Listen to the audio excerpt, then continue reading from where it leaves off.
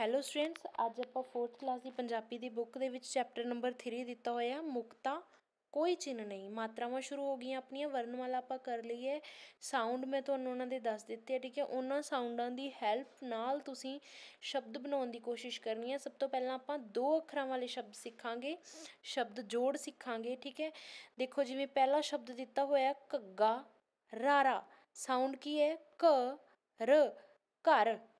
ਨੰਨਾ ਲੱਲਾ ਸਾਊਂਡ ਹੈ ਨ ਲ ਨਲ ਅੱਗੇ ਹੈ ਤੱਤਾ ਰਾਰਾ ਤ ਰ ਤਰ ਪੱਪਾ ਰਾਰਾ ਪ ਰ ਪਰ ਥੱਥਾ ਨਾਣਾ ਥ ਣ ਥਣ ਫੱਫਾ ਲੱਲਾ ਫ ਲ ਫਲ ਠੀਕ ਹੈ ਐਸੇ ਤਰ੍ਹਾਂ ਹੀ ਸਾਊਂਡ ਕੱਢ ਕੱਢ ਕੇ ਤੁਸੀਂ ਪਹਿਲਾਂ ਅੱਖਰ ਪੜ੍ਹਨੇ ठीक है, फिर वह साउंड बोलना है, फिर शब्द अपने आप बन जाएगा, ठीक है? वाक रचना दी हुई है, देखो।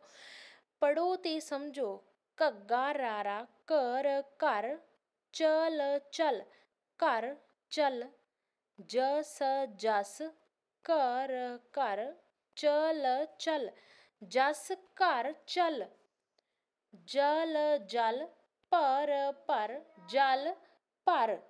ਜਸ ਜਸ ਜਲ ਜਲ ਪਰ ਪਰ ਜਸ ਜਲ ਪਰ ਜਪ ਜਪ ਕਰ ਕਰ ਜਪ ਕਰ ਜਸ ਜਸ ਜਪ ਜਪ ਕਰ ਕਰ ਜਸ ਜਪ ਕਰ ਠੀਕ ਹੈ ਸੁਲੇਖ ਹੈ ਇਹ ਤੁਸੀਂ ਆਪਣੇ ਆਪ ਲਿਖਣੀ ਹੈ ਠੀਕ ਹੈ ਇਸ ਦੇ ਨਾਲ ਰਿਲੇਟਡ ਜੋ ਬੁੱਕ ਵਰਕ ਹੈ, ਉਹ ਤੁਹਾਨੂੰ ਨੋਟਸ ਦੇ ਥਰੂ ਮਿਲ ਜੇਗਾ ਹੋਰ ਵੀ ਤੁਸੀਂ ਆਪਦੇ ਵੱਲੋਂ ਬਹੁਤ ਸਾਰੇ ਸ਼ਬਦ ਦੋ ਦੋ ਅੱਖਰਾਂ ਵਾਲੇ ਬਿਨਾਂ ਮਾਤਰਾ ਤੋਂ ਬਣਾ ਕੇ ਲਿਖ ਕੇ ਦੇਖ ਸਕਦੇ ਹੋ। ਜਿੰਨੀ ਵੱਧ ਤੋਂ ਵੱਧ ਪ੍ਰੈਕਟਿਸ ਕਰੋਗੇ, ਓਨੀ ਜਲਦੀ ਤੁਹਾਨੂੰ ਲਿਖਣਾ, ਬੋਲਣਾ, ਸਮਝਣਾ ਆਏਗਾ। Thank you take care have a nice day